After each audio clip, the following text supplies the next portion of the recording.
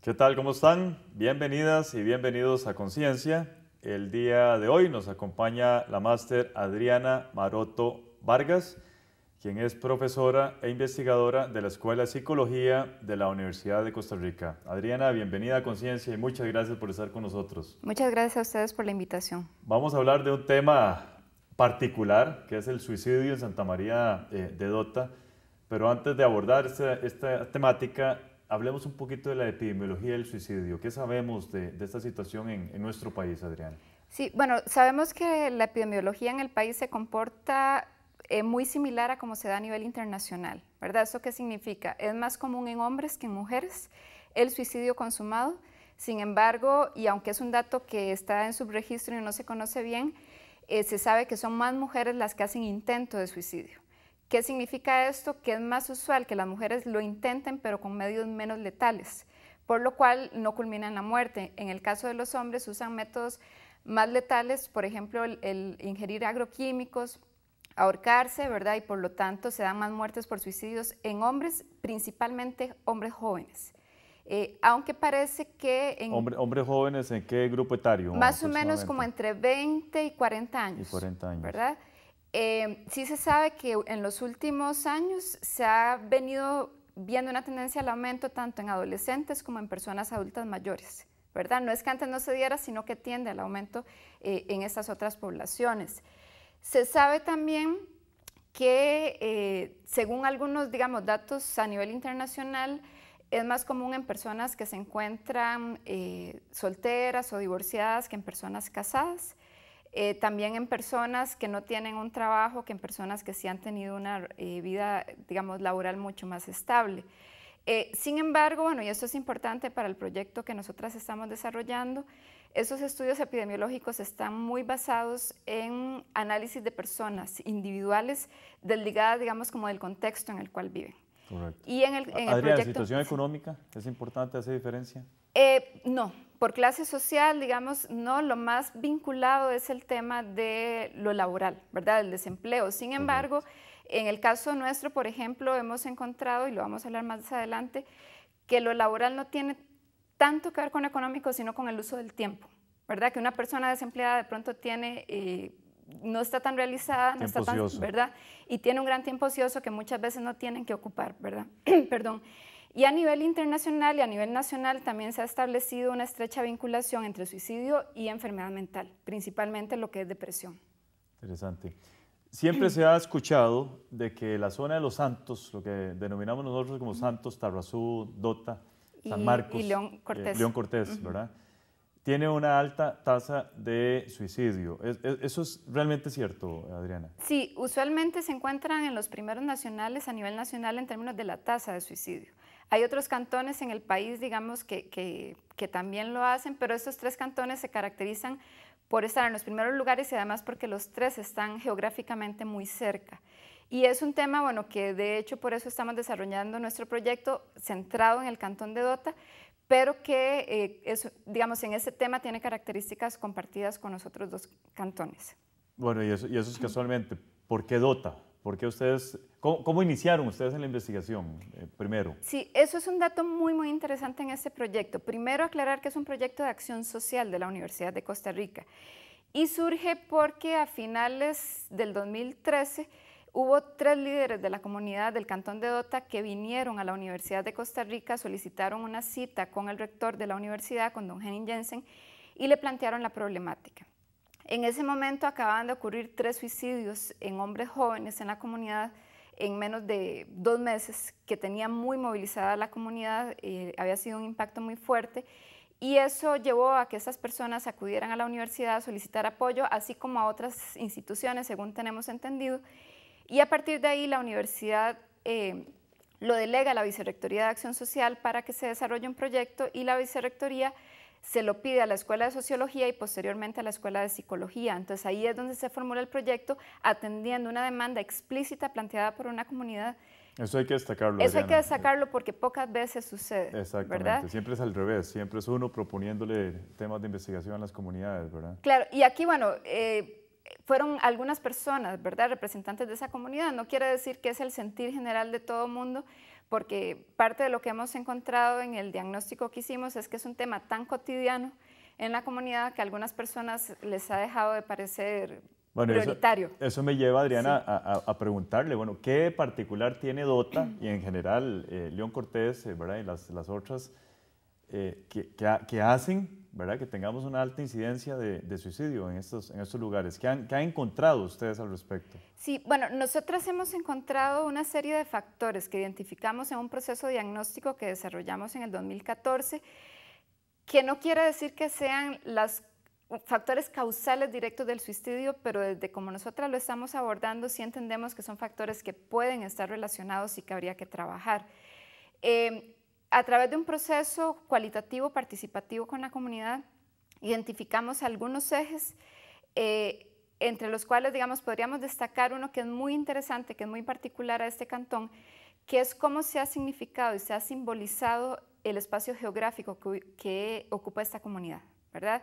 Es una comunidad ubicada en un valle, es un lugar que cuando uno llega como visitante es hermosísimo, ¿verdad? Un lugar muy verde, rodeado de montañas, en un pueblo eh, pequeño, muy ordenado, muy limpio, que es maravilloso, pero quienes viven ahí lo han significado un poquito diferente.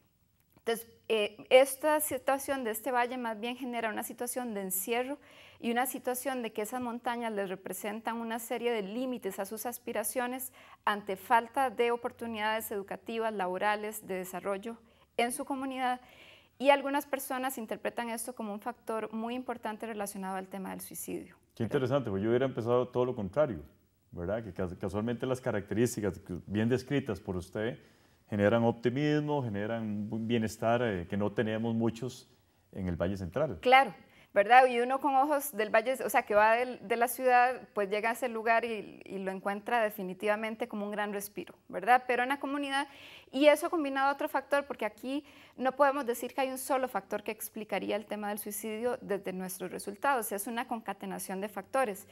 Hay otro que está muy relacionado que es eh, un fuerte control social en la comunidad, ¿verdad? Las personas hablan de que es una comunidad que se basa en valores muy tradicionales, tanto económicos eh, como morales, como sociales, como religiosos, ¿verdad? Que llevan a que eh, haya mecanismos de control social muy fuertes. Entonces las personas se sienten atrapadas dentro de esa dinámica social y atrapadas dentro de un espacio que no les da mucha salida y eh, algunas personas interpretan que el suicidio se convierte en una vía salida. Es lo que llamaríamos un pueblo muy conservador. Es un pueblo muy conservador. Permítame hacer una pausa, ya regresamos.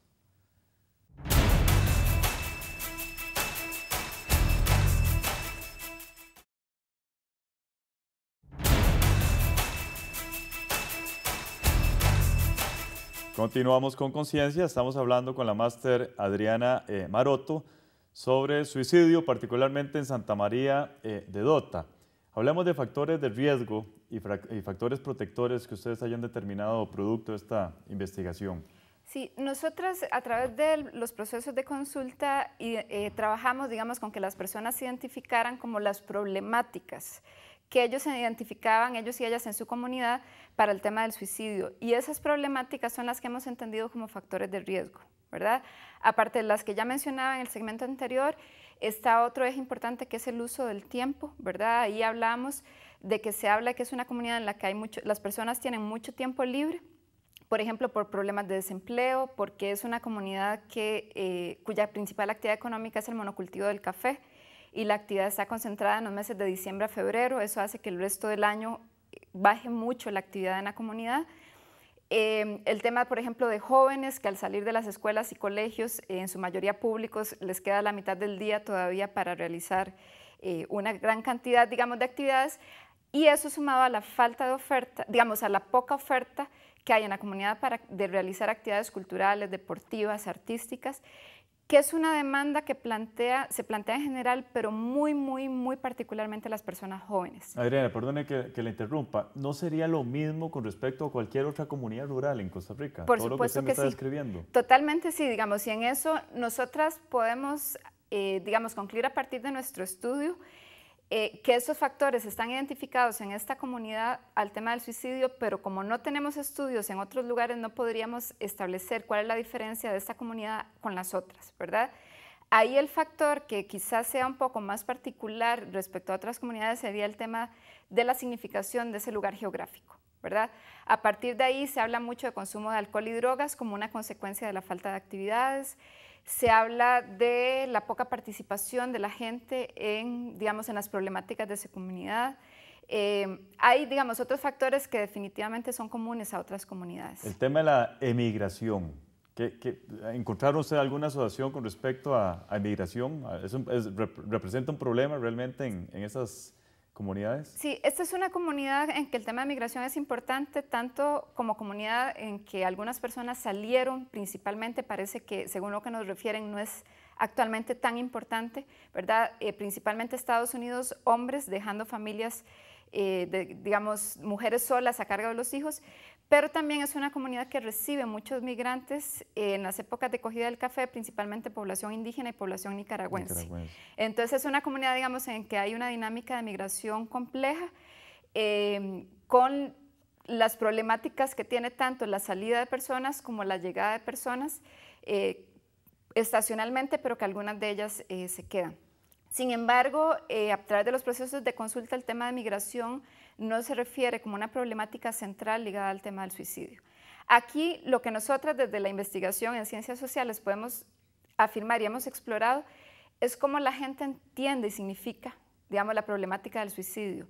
No es el punto de vista, el punto de vista nuestro externo como investigadora lo que prima acá, sino la representación que las personas hacen en la comunidad de esta temática. Usted, lo mencionó, el grupo etario más perjudicados, 20, 40. Eh, ¿Alguna diferencia con respecto a género? Sí, bueno, ahí es, cuando hablamos de perjudicado tenemos que empezar como a, a hilar fino, ¿verdad? Cuando hablamos de 20, 40 hombres, son los de suicidio consumado, ¿verdad?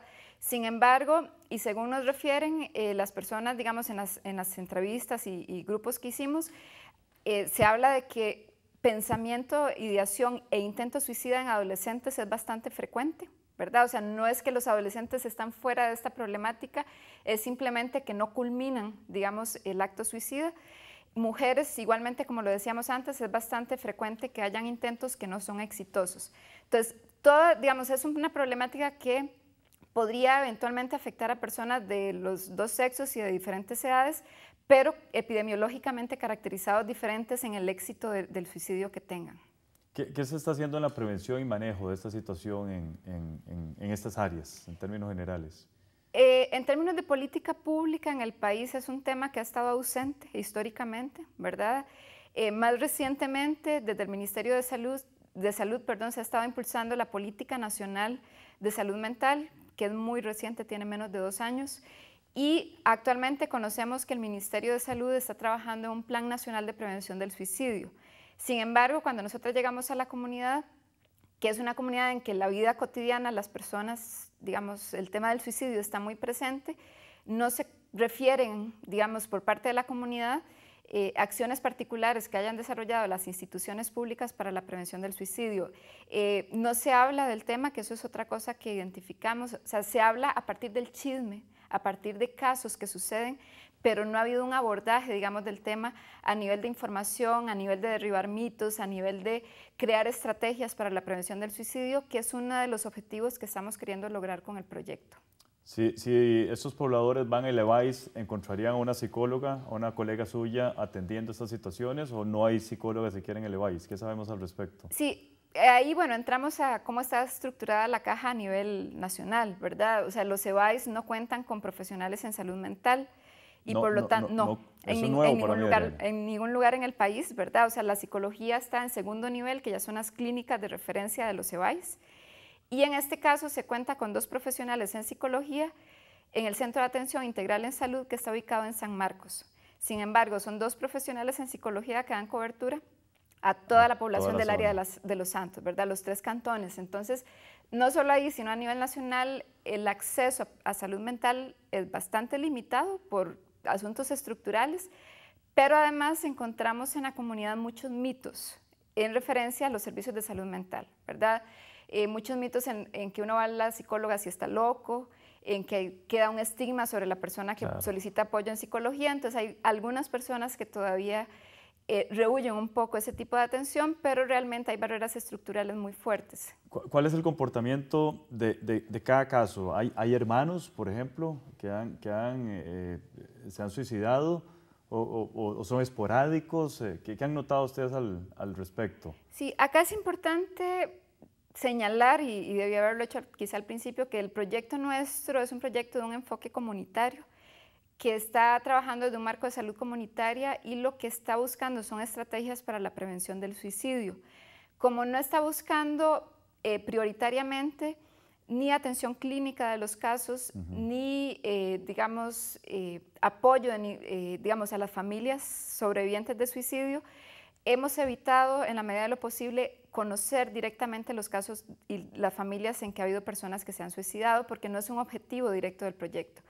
Sin embargo, a, partir de los procesos de consulta es inevitable que las personas refieran los casos que se han dado en la comunidad en los últimos años y eh, según nos dicen, y eso no son datos que nosotras hayamos corroborado directamente, hay familias en las que es más usual que se presenten casos, eh, digamos, a través de los años, ¿verdad? Eh, y aquí, bueno, viene la pregunta de por qué, ¿verdad? Y cuál sería el factor que vendría a explicar eso.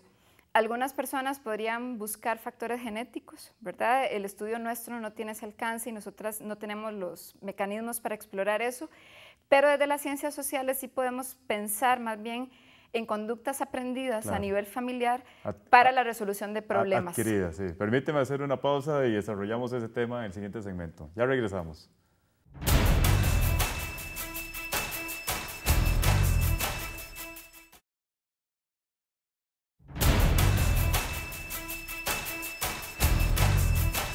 Gracias por continuar con nosotros. Estamos hablando con la máster Adriana Maroto sobre el tema de la alta, tasa de suicidio en Santa María eh, de Dota.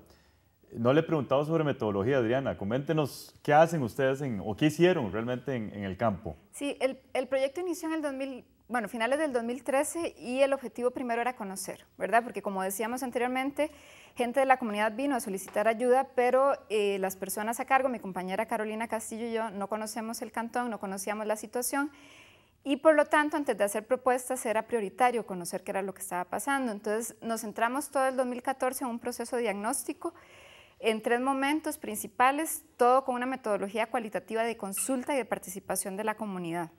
Primero hicimos entrevistas individuales, un poco para explorar, ¿verdad? Y como para ir estableciendo contactos en la comunidad. A cualquier persona, a cualquier totalmente aleatoria. Totalmente. Mayor de edad. De referencia, no. Buscamos incluso personas jóvenes, pero nos fue bastante difícil concertar entrevistas con personas jóvenes menores de edad al principio.